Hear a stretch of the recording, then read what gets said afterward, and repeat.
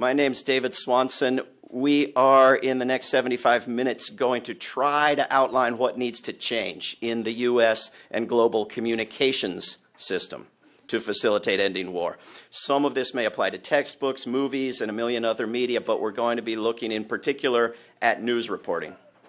In the book that you've all been given, A Global Security System, an Alternative to War, you will also find a section on peace journalism and on the myths that are embedded in the sort of journalism that can report that U.S. troops are defending themselves against aggression by Syrian troops in Syria, or that Russia is attacking the United States in the Baltic Sea, or that the very next humanitarian war is guaranteed to be the first one to benefit humanity journalism that probably accomplishes more by what it doesn't tell than by what it does tell.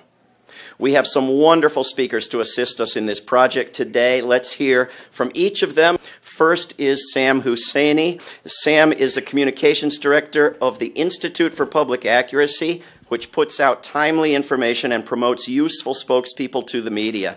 IPA put out some of the most critical information regarding dubious claims on Iraq in 2002 2003. Sam has also asked top U.S. and foreign officials questions nobody else has dared and gotten himself suspended from the National Press Club, among other places. We're going to see if we can get him suspended from American University. Um, it's really funny being here, actually, uh, because I got into this business because of a talk at American University. 30 odd years ago, Chomsky gave a talk here that I got on, you know, that I taped VHS style um, uh, all, the, all, those years ago and watched over, and he plugged the Media Watch Group FAIR. I happened to be in New York at the time, and so I knocked on their door and ended up uh, getting into, into, this, uh, into this work. Um, during that talk, um, he got a question about how can we change the media to be more citizen controlled.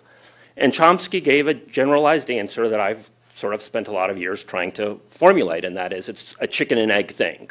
That is, can you actually reform the establishment media, and do you have to build new independent structures that are under meaningful citizen control? Um, and there are a whole litany of ways that that interplay happens, I think. One way David alluded to, is getting media that asks tough questions. That sometimes happens through the major media. Uh, Matthew Lee, the State Department correspondent at uh, the State, uh, the, the AP correspondent at the State Department, occasionally asks good, tough questions, especially on Central America. And those of us who try to watch these issues try to toss him stuff, say, hey, you know, can you do that? And occasionally it happens. And I think we have to be more adept at using that, at using those individuals in major media.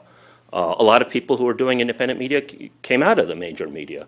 Bob Parry, who edits Consortium News, used to work at uh, Newsweek as well as the AP. So there are you know, opportunities there, and we need to exploit them as much as possible. But I think the emphasis is that we should be trying to build up meaningful citizen controlled democratic media and I think we also have to be demanding of that media. Um, I, I, think that um, outlets that people look to, whether that's Democracy Now! or The Intercept and so on, should be doing stuff like asking tough questions, getting into news conferences. And that's not happening uh, enough. Lee Fang uh, from uh, The Intercept occasionally asks tough questions um, uh, of various officials. Uh, Russell Mokhiber, uh, corporate crime reporter, has done some of that, but it really needs to happen at a much, much higher level, um, I think. Um, I, I, also want to emphasize the importance of the media. I think that we often end up talking about um, the media simply reflect power. And I don't think that's true, uh, or at least it certainly isn't always true. Um, George Bush, the first, when he got in, what was the rap on him, the media rap on George Bush the first? He, yeah, he's wobbly. He's a wimp. You know, we, you know, uh, when he was about uh, after Saddam moved into Kuwait, uh, it, it, was you know Thatcher got the soundbite. Don't go wobbly on us, George. Um, and so the, the media structure, the establishment, sort of pushed him to be more militaristic. That certainly happened in the case of Clinton, I feel bad with my notes over here. Let me hide my notes. That's um, uh, the um, so uh, Clinton bombed Iraq and continued the sanctions, but uh, was pushed into those positions often. Who here might remember when Clinton first got into office, what was his position on Iraq? If Saddam Hussein wants a new relationship, I'm a Baptist, I believe in deathbed conversions, we can have a new relationship. Who came after him for that? Great liberal of the New York Times, Tom Friedman, went after him for that. Clinton immediately backtracked. His new incoming Secretary of State, Warren Christopher, said, I'm, I'm a Presbyterian. I don't know what Bill's talking about. Um, and Clinton backtracked, and they maintained the sanctions for the duration of Clinton's term, setting up the stage for uh, Bush II's ultimate um, ultimate uh, invasion uh, of of Iraq. Um, after the invasion of Iraq, uh, what was the media rap on George on W? Don't cut and run. You got us into this war. Don't cut and run. Who said that? That was Kerry's position. Kerry's position in 2003, 2004 uh, was uh, don't, don't cut and run. I, I, asked Kerry about that. I don't know if I have time, but I'll, I'll get into that as well. So I, I, think we have to see how the media, in ways subtle and bad, um, uh, push the militarism. And we certainly see that vis a vis Obama. Uh, you know, he backed out, he didn't bomb Syria. Uh, he's a pacifist, ignoring the militarism of the Obama administration. That's another manifestation uh, of it, I think. So we have to, I think, be hypercritical of that and the outright falsifications that we see. Um, I got NPR to actually issue a correction a couple of months ago. Well, you know, you, you, would have to do a ton of Googling to find it, but it was a really critical um, thing. It was right after the, it was during their coverage after the Orlando massacre.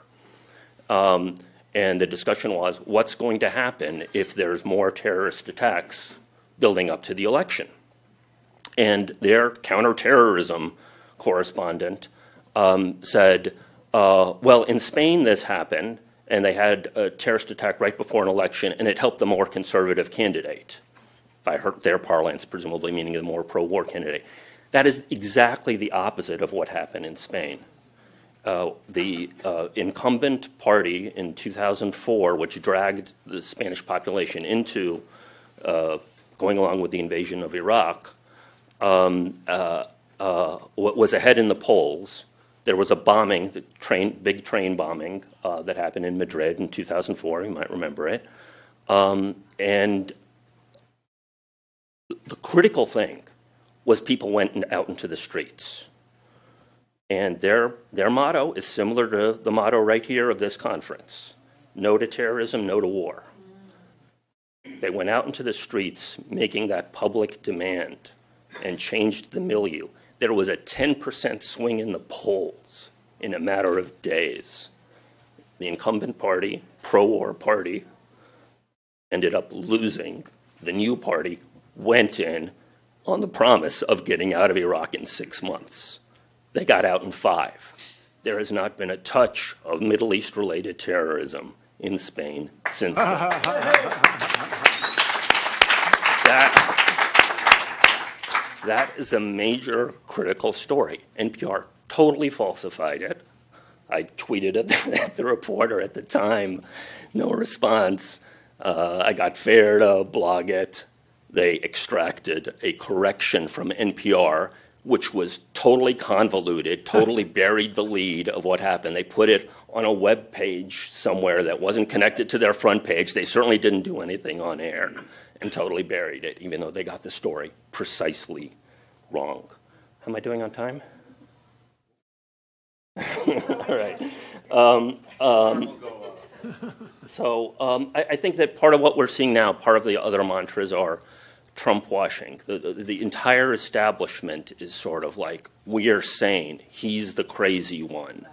Um, I, I, mentioned Kerry before. Let me just very briefly highlight this. Um, oh, gosh, no, it didn't come up. Um, uh, uh, Kerry um, basically said, uh, I, I, questioned him um, uh, uh, this was like 2008 or so, about his Iraq War vote. And he basically said, as soon, I, you know, you, you voted for war. What, you know, what's up with that? Um, and he said, no, as soon as I voted for, uh, as soon as Bush misused my vote and moved into Iraq, uh, I immediately objected. um, and, you know, uh, and so on and so forth. And that's exactly what didn't happen. Um, he, he stayed silent, as did a lot of people, and came up with the don't cut and run. That, that, you know, I did extensive Nexis searching. All I could find of him in 2003, late 2003, was don't cut and run. Um, so that's sort of a media fabrication. But you know, everybody's obsessing over Trump, obviously, pretending that he was against war when he said, "Yeah, I guess so," when he was on Howard Stern or whatever. But, but, but, but, the, but the maniacal emphasis on Trump sort of lets the rest of the establishment off the hook. It's very functional for them in a lot of ways.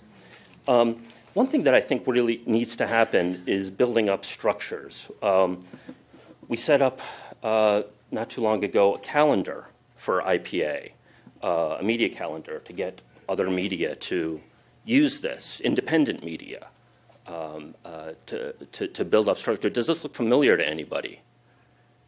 Indymedia. Indie Media was doing this stuff when Indymedia, you know, came and rose, you know, 10 years ago.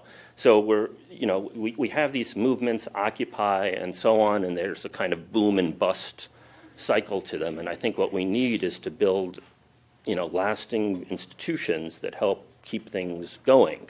And one of those things is um, uh, a calendar, for example. I think that there are tremendous opportunities now to be, um, you know, building up bases of knowledge of wikis that have the skinny on all of the establishment figures that could be presented in a graphical form be utilized. You know, you sort of have this to some extent on Facebook with memes and so on, but something more substantial than that. I think that there are tremendous opportunities to be, you know, using those types of mechanisms to really be reaching a much greater mass audience. And the, the, the big elephant in the room for me is a live feed. Uh, we, have continuously had these, um, uh, you know, Al Jazeera was the answer for a lot of people several years ago. And of course, they're ultimately con- controlled by the Qatari regime. They might do good work. There might be good people in there, just like there's good people at AP and ABC and so on. But ultimately, that's who's calling the shots. And ultimately, they are going to uh, scale back, as happened. You know, the Arab Spring, uh, I, I never adopted the term, the uprisings sort of got shoved into against the secular regimes that resulted in failed states, which was very functional for the U.S. establishment, um, and the monarchies are sitting pretty and further dominating the regimes. Uh, and they're very close to the U.S. establishment. And we have a situation now of failed states and perpetual war. That was somewhat predictable. Uh, David mentioned I got suspended from the press club. That's what I got suspended for the press club about. The Saudi ambassador was there in 2011, and he was all poo pooing the Syrian regime. And my question was, what's your legitimacy? you know, what's the legitimacy of the Saudi regime? Uh, and for that, I got suspended. So I think we.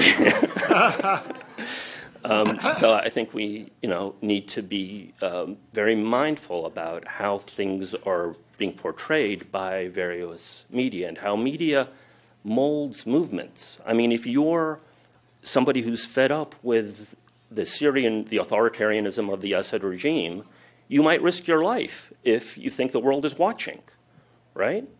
Um, but you're not going to do it if you're, uh, you know, somebody who wants democracy in Saudi Arabia because nobody's watching.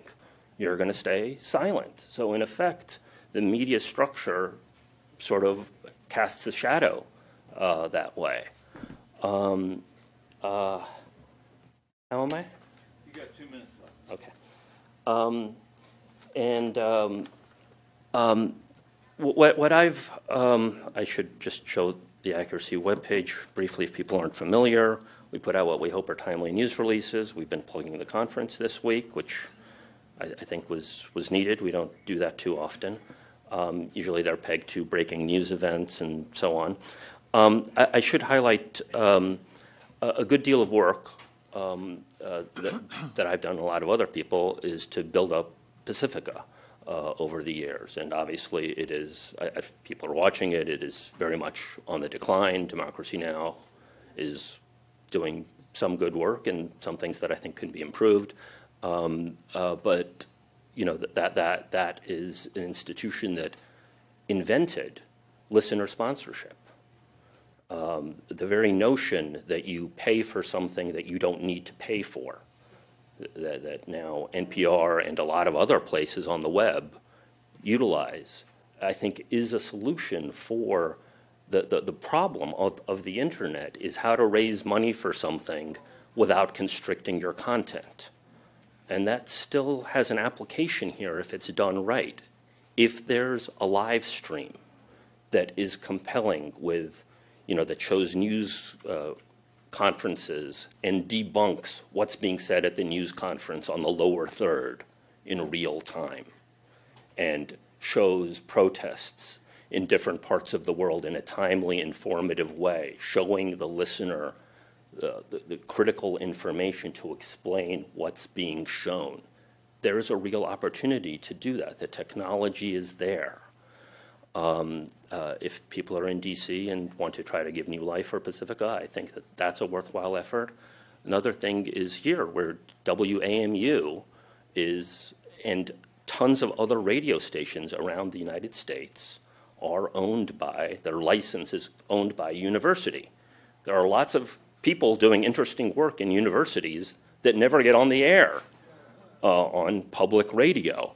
A couple of dozen people downtown tied to the establishment at the NPR building determine the content that ends up being heard on all of these university radio stations there may well be opportunities to try to revamp that, to reformulate that. There's no single bullet solution, but there are a lot of aspects that we can go at to, to, to try to meaningfully change the structure of, of the media for peace. Thank you, Sam. That was terrific. Uh, next up is Gareth Porter, one of our best independent investigative journalists on U.S. foreign policy. His latest book, is Manufactured Crisis, the untold story of the Iran nuclear scare, published by Just World Books. Uh, Porter was Saigon bureau chief of Dispatch News Service International in 1971. Andrew Bacevich calls his book Perils of Dominance, Imbalance of Power and the Road to War, published in 2005, quote, without a doubt the most important contribution to the history of U.S. national security policy to appear in the past decade. Porter has taught Southeast Asian politics and international studies here at American University, with, as far as I know, no discernible impact on WAMU. Thanks so much, David. And uh, I especially want to thank David for giving me special dispensation to go a little bit, maybe far beyond the boundaries of uh, the, the uh, apparent boundaries of this uh, topic. Um, I do want to give my one minute uh, take on news media and what is to be done. Uh, but then I want to go on to something much larger, which uh, I, I, think, you know, I, I have a, a, a, message that is, is more applicable to the rest of the conference. The, what, what I want to say very briefly about the, the media, and, and, and, by the way, I think Sam Husseini has done wonderful work.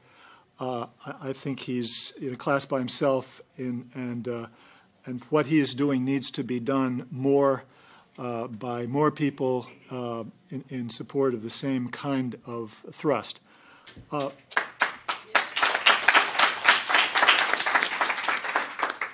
Having said that, I mean, you know, my, my take on the nature of the news media and the politics of war is that it is in the nature of corporate news media never if it can get away with it, to accept any uh, information or analysis or facts that conflict with the uh, official line of the national security state, unless that line happens to be to the left of their line, in which case, many times, as, as Sam has correctly pointed out, the news media have attacked the White House uh, and uh, administration policy if it was not uh, sufficiently hawkish for their liking.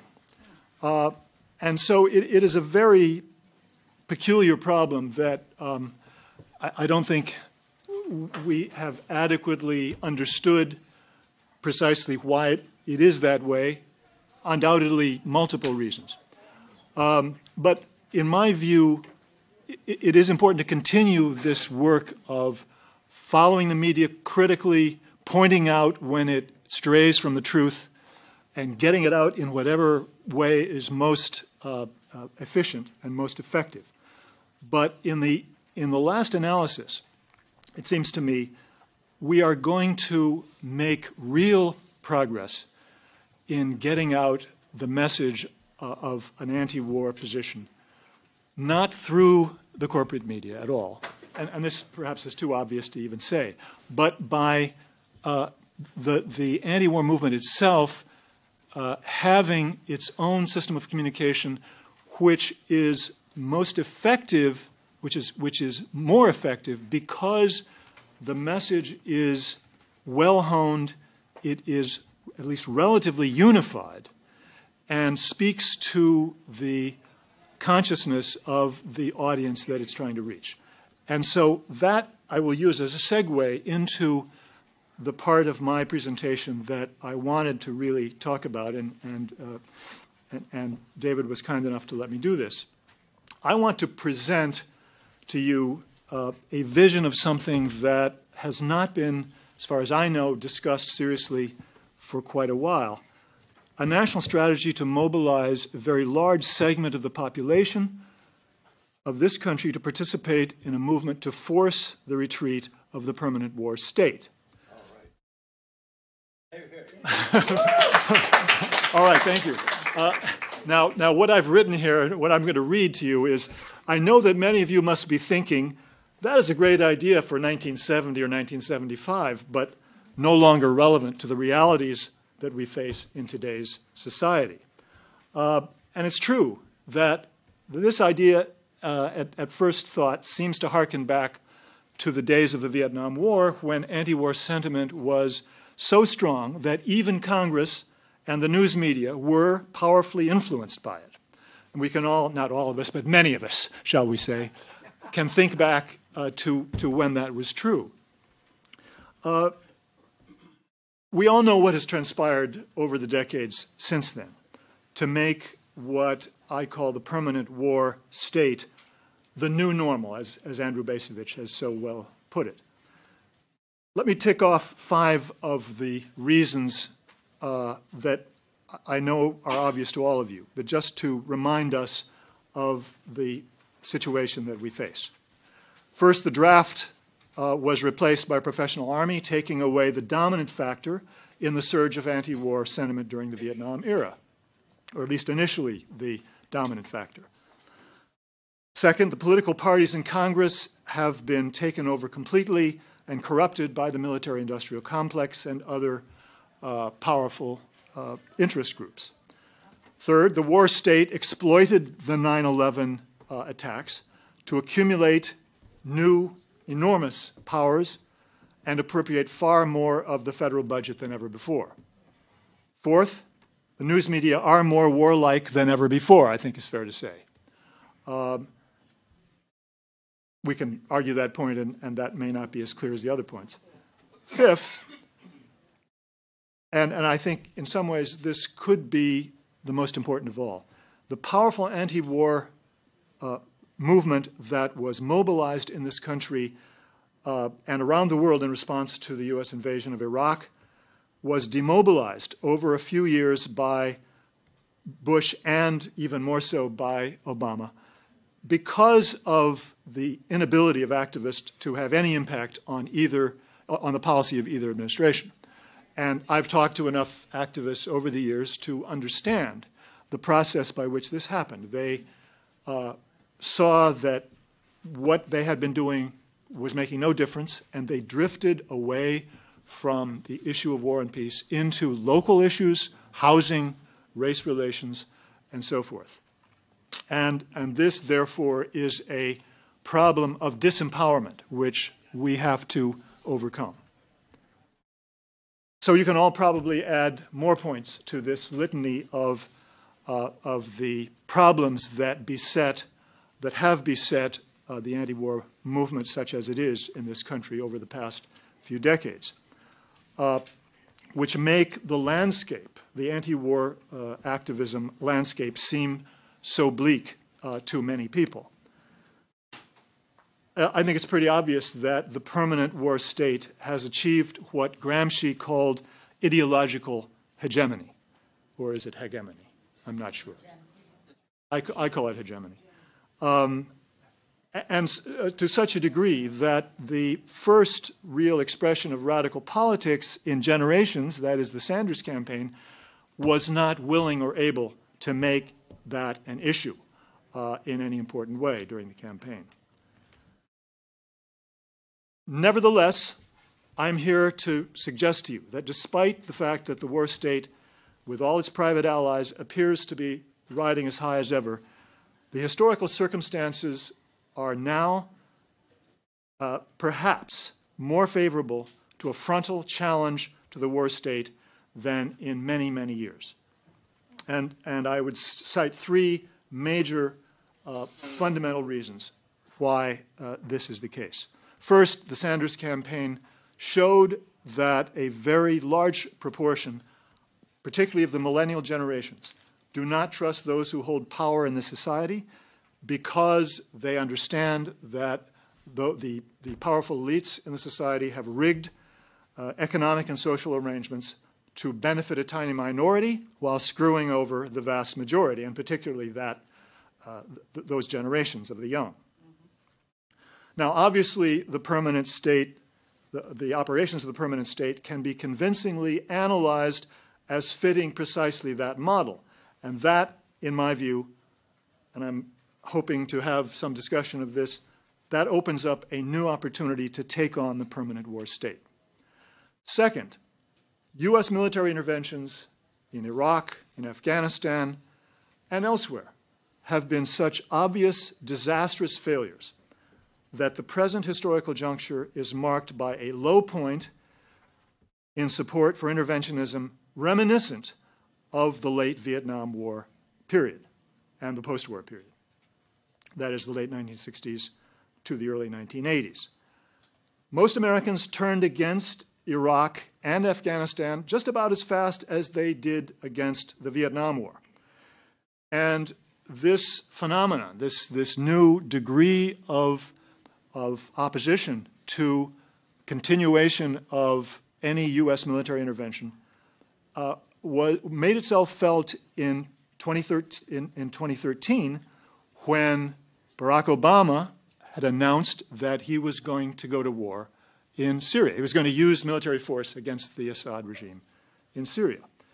Um, and even in the face of overwhelming media coverage that encouraged that support, a Gallup poll in September 2013 showed that the level of support for the proposed use of force in Syria, 36%, was lower than for any of the five wars that had been proposed by the United States since the end of the Cold War.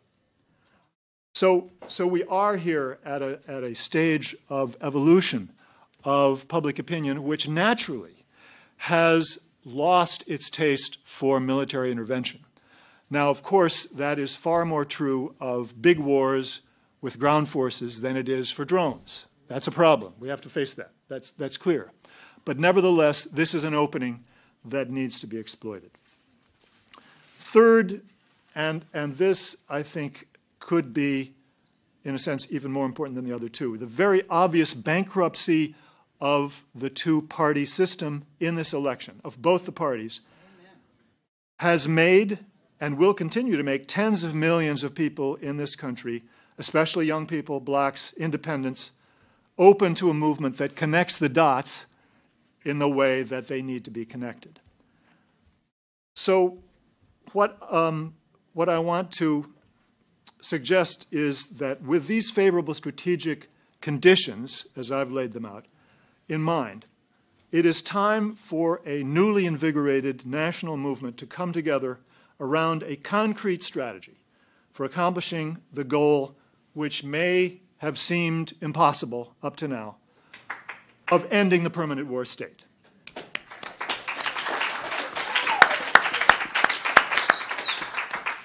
And, and what I mean by that is to take away the means by which the permanent war state can carry out its intervention in foreign conflicts. What would that mean?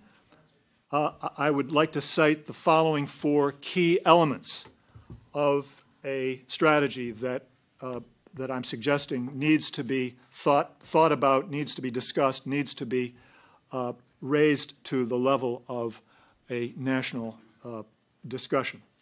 First, a clear, concrete vision of what eliminating the permanent war state would mean in practice is needed to provide a meaningful target for people to support.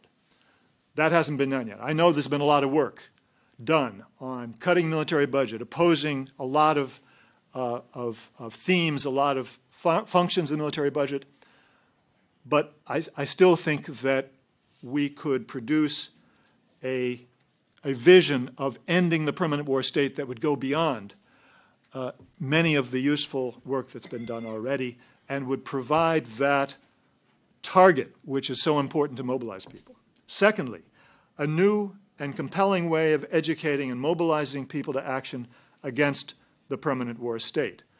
And, and by that I mean uh, basically a, uh, a new way or, or a refined way of communicating the message that the national security state, the, the organs of national security of this country and their, and their operations really have no legitimacy.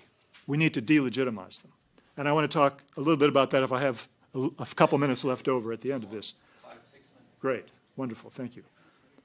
Thirdly, we need a strategy for reaching specific segments of the society on this issue. We need to focus on those uh, parts of the society which we have good reason to believe are open to this message. We need to have a strategy that focuses communications and organizing on campuses, on, on places and organizations where we can reach youth, young people, the millennials, um, and obviously linking up with those organizations that have flourished over the last few years around social justice are need, need to be part of this strategy. And fourthly, we need a plan for bringing political pressure to bear with the aim of ending the permanent war state within a relatively short period of years. And folks, I want to tell you that one thing that I've decided is that I want to do this before I die.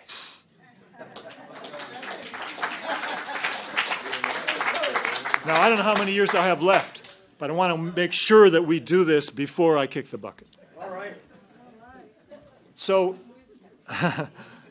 now, now I, I have a few minutes left, so I want to talk just for, for a few minutes about uh, what, what I think would be the most useful approach to shaping a campaign message on the importance of ending the permanent war state. Uh, and again, I, I come back to the Sanders campaign as the experience that gave me hope that there was a way here, a new way to communicate the message. Because we know that the Sanders campaign appealed to a widespread sense that the political and economic systems had been rigged, as I said, in favor of the super rich. We need to make a parallel in regard a parallel to that rigged system in the financial and economic policy systems to the permanent war state. Now, how do we do that? Such an appeal would characterize the entire system that makes and implements U.S. war policies as a racket. To put it another way, the permanent war state, the state institutions and individuals who push for policies and programs to carry out perpetual war, must be de delegitimized in the same way that those financial elites dominating the economy have been delegitimized for a large segment of the U.S. population already. The campaign should exploit the potent parallel between Wall Street and national, the national security state in terms of siphoning off trillions of dollars, not billions, not hundreds of billions, but trillions of dollars uh, from the American people For Wall Street, the ill gotten gains took the form of excessive profits from a rigged economy. For the national security state its, and its contractor allies, who are in fact part of that state, that took the form of seizing control over money appropriated from the U.S. taxpayers to enhance their personal and institutional power. Um, and by the way, I, I want to just add when I use the term power, this is a key concept that I have to say it this way the left has never really gotten. The left is, ex is exceptionally attracted to the idea that the only issue that is a problem, the only problem really underlying U.S. imperialism is corporate profits. Well, that is a problem, no doubt about it. But we have to come to grips with the fact that we have some of the, not some of the, we have the most powerful bureaucratic organizations the world has ever known at work here. And they have continued to appropriate more, not just money, but power. And power is important to these people. Power means to them that they can do whatever they want. It means that they have more to do it with. It means that they can affect more people. And, and if you want to understand this, think about the National Security Agency. Now, you know, we, we have finally, from within the NSA, we have testimony from people who were at relatively high levels. Tom Drake was a senior official of the NSA, and he's come out. And Tom Drake understands, and I've talked to him about this at length, he understands that the motivation of these people at the top of the NSA was power. They wanted everything. They wanted to scoop up all information for its own sake. And that's a problem that is matched in all of the organs of the national security state the Pentagon, the, arms, the, the, the uniformed armed services, the CIA, the State Department, and the National Security Council, and those people in the White House who, who can use U.S. military power as a political ploy or as a political toy for their own power. So these are all part of the problem that we have to bring into to the message. Um, so, in conclusion, we need to update General Smedley Butler's memorable slogan, wonderful slogan from the 1930s War is a racket to reflect the benefits that now accrue to the national security establishment uh, that, that make those war profiteers of the 1930s seem like child's play. Uh, I suggest the slogan something like permanent war is a racket or the war state is a racket, or both. Why not use both? So, so this is the kind of approach that I think I would like to have discussed and, and you know, if people see uh, problems with this, this is a good time. This is the first time I've presented this publicly. I would love to have your comments, your reactions to the whole idea. Uh, and, and so I guess that's where I'll leave it right there.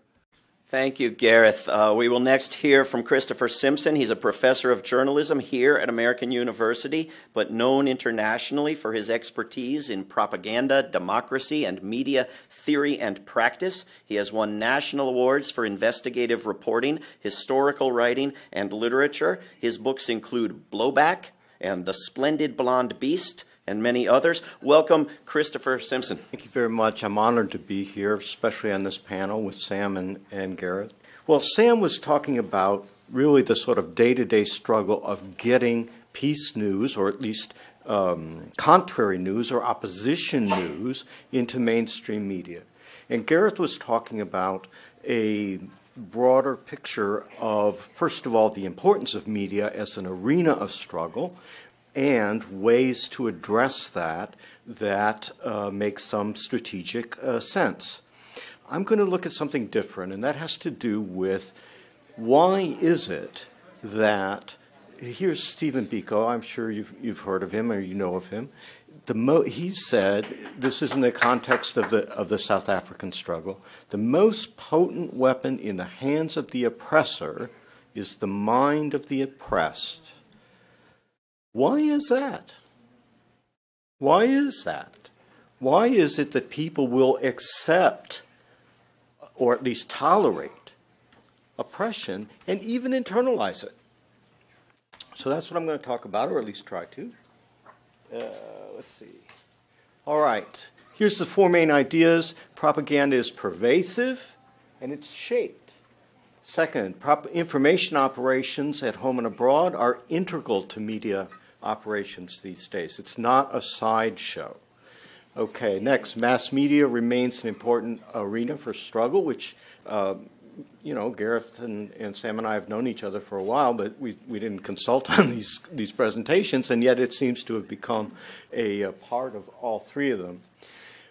I put my address here because I'm not going to read these slides uh, because that would be hopelessly boring. Um, but if you would like copies of them, send an email to me with your email on it, and I will send you a copy of the of the powerpoints. Okay. There's a paradox in the United States, in our culture, and it's our origin stories lay claim to democracy, freedom, freedom of speech, justice under law, et cetera, et cetera. Obviously, the actual history of the country has been frequently quite different. Um, the main points here, I'm sure you're aware of. Um, I would add to Gareth's points that one of the things that we're experiencing right now is a deep crisis of legitimacy for ruling elites in the United States. This is on both sides of the of the mainstream aisle. Uh, we're also experiencing a deepening economic crisis, which has as its results the what is called the hollowing out of the middle class and working class. Uh, and uh, we appear to be, in terms of technological um, um, events, the um, facing an enormous loss of jobs for people in this country and in other parts of the world as well. But there are some upsides to this, and that is the victories that people in our country have uh, won over the years to protect human rights, civil rights, their own rights, independence, and freedom of thought. So, I'm not going to read this, but I would like to point out something that we haven't really discussed very much so far today, and that is the role of educational systems in reinforcing the main propaganda or ideological lines, if you will, um, of today's myths. And one of those is that you have masters and servants in society. And if you want to be a master, you have to go to college and that having completed that, that you will at least have a shot at reaching that status. And there's several messages uh, uh, embedded in that. One is, is that the masters have virtue, that they are masters as a result of their virtue or their brains or their hard work, etc., etc. And uh, also, it, it suggests that, the, that there's a great deal of social mobility in the United States. And it is true that there is some social mobility in the United States. It is less social mobility than almost any other industrial country in the world. And it has gotten much more difficult to rise in the social ladder during the past 15 years. All right.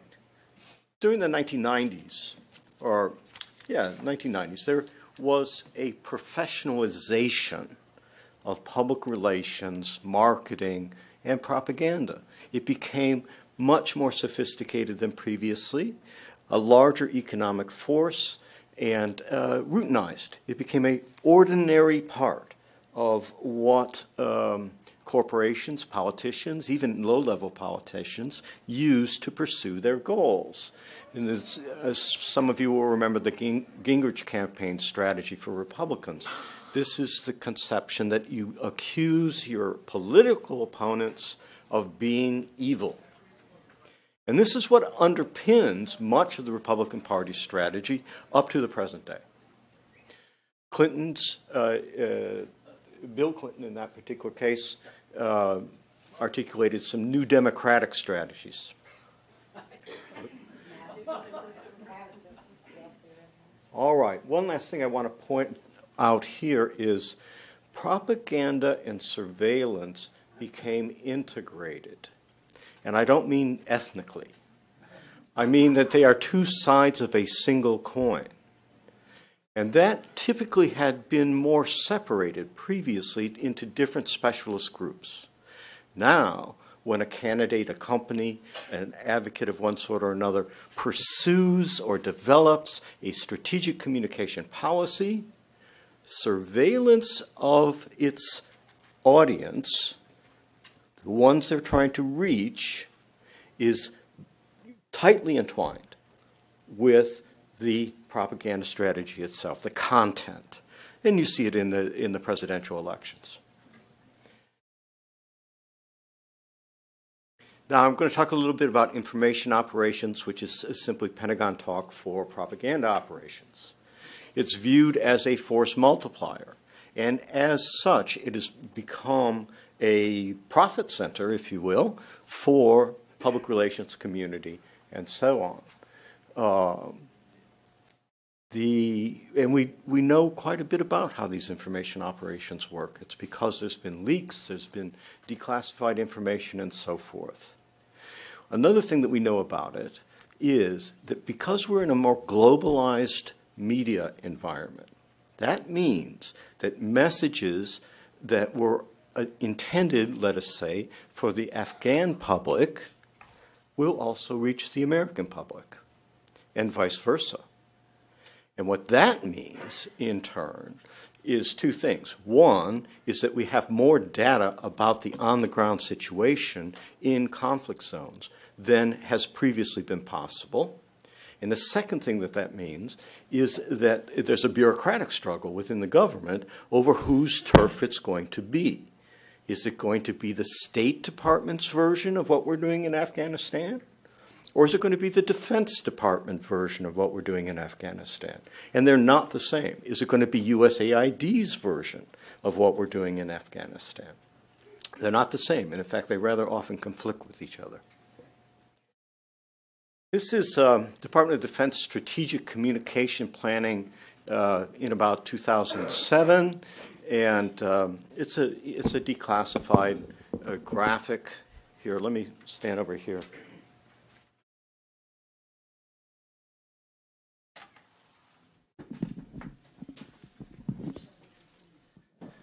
This is an early version, and you you can see that it's a Department of Defense working hard. Uh, and but what they, in, in fairness, what they have done is to try to break down the whole of culture and the whole of communication patterns, and to chart it out in such a way that they can enter into it and make use of it to pursue their goals. In this, in this particular case, is basically uh, discussing Iraq and Afghanistan, but they've tried to do a generic setup of you have your host government, you have the infrastructure in that country, you have opinion leaders in the country, and so forth. Then you have the, the coalition's capacities and its priorities, the extent of domestic support for the coalition, and so forth and so on. So they've tried, not entirely successfully, but nevertheless, this is the, this is the goal that they were seeking in putting together communication strategy for their, for their operation. This continues it. Here you see a basic, uh, it's really quite a simple uh, structure that, that says, well, we've got different types of audiences, we've got different types of resources, so here is how we're going to try to put it together in a systematic sense. All right? Here you see it more elaborate. And here what you have, again,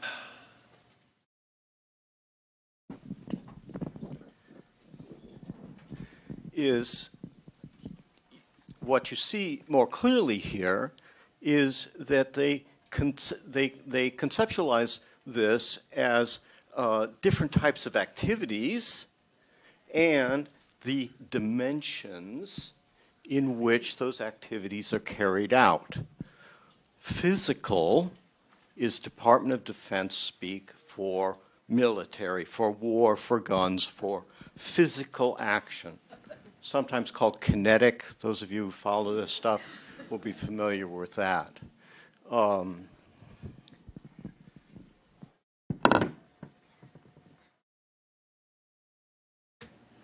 and, and this one is a more concise thing.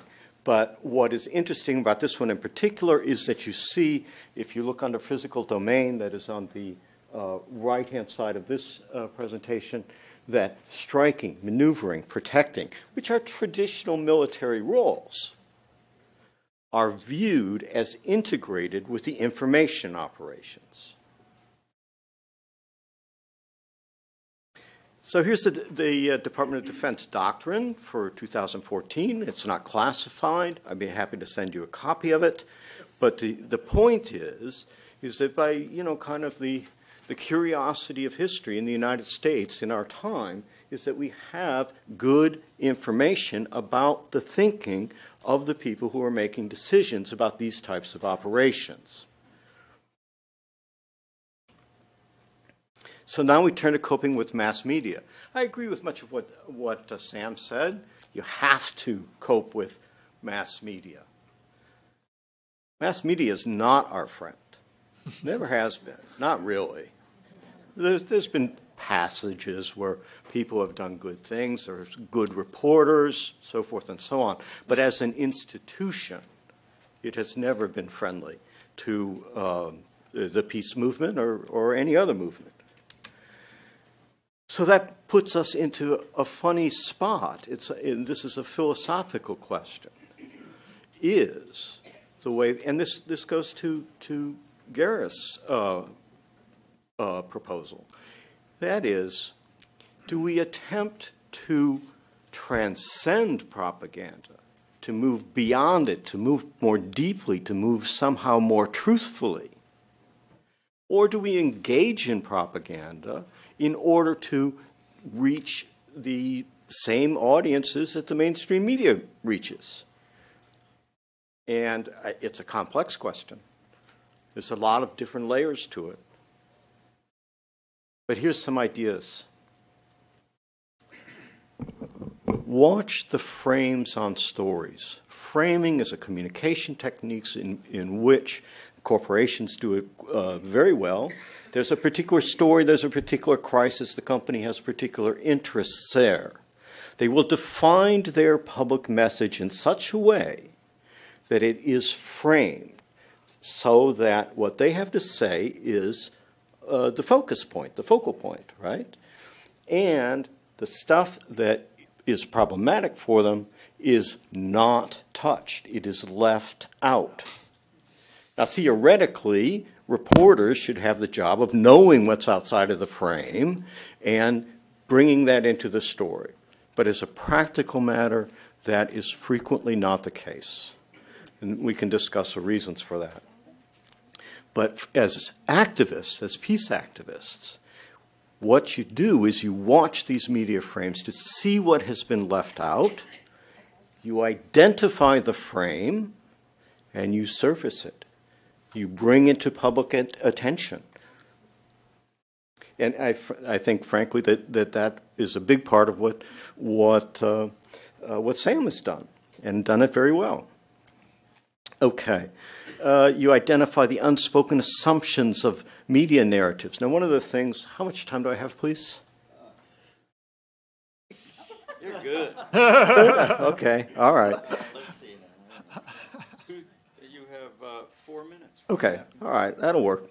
Um, content of media is or are narratives. They are little stories. So you can think of them as fables or as parables. They have little plots that in which good guys prevail over bad guys or bad guys prevail over good guys.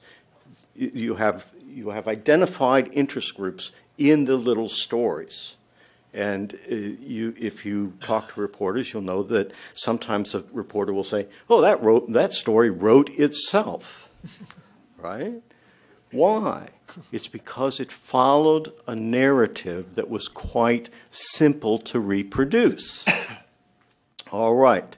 So what you do is you understand that reality about mainstream media and media generally, and you surface it. You bring it to public attention to show, as, as Sam was talking about, that the assumption of NPR concerning the Spanish events was actually, uh, it wrote itself in the mind of that reporter. Do, do you see what I'm saying there? Okay. Um, and finally, here's, here's something really basic when it comes to television, the cursed medium, um, and that is pictures. Pictures. If you don't have pictures, you will not be on television. You can start with that assumption. Uh, so that if you, if you want to uh, access uh, that audience or that medium, you have to deal with what it views as its professional standards. All right, this is basically a, uh, uh, a wrap up. Um, what I would say here, and this also goes to, to um, uh, Gareth's proposal, is that humor, satire, daringness, those help to crack the media bubble. Not automatically, but those are powerful tools in coping with mass media. So use it. um, all right, and then and the last thing is is I think that part of the campaign to be active in the media arena has to be a, a direct and powerful critique of the arena itself, of the assumptions and of the techniques that media organizations bring to trying to explain the world to their audiences. Uh, that's all for now.